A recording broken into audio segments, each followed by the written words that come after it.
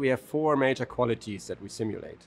The first one is the lunar dust, the sand, the surface material that we want to have in, in Luna. We want to simulate how that um, behaves when we move across the surface, how we can work with it, how we can learn um, to, to um, how we can learn to sample it and to, to use it. The second quality is illumination, the visual perception of being on the moon.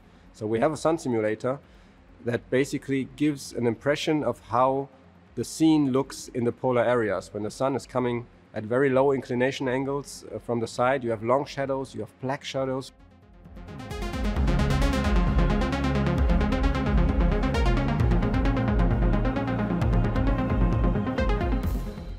But we're also looking at different handheld or robotic um, held instruments like spectrometers and cameras that will later be used on the moon and they can be tested here in Luna.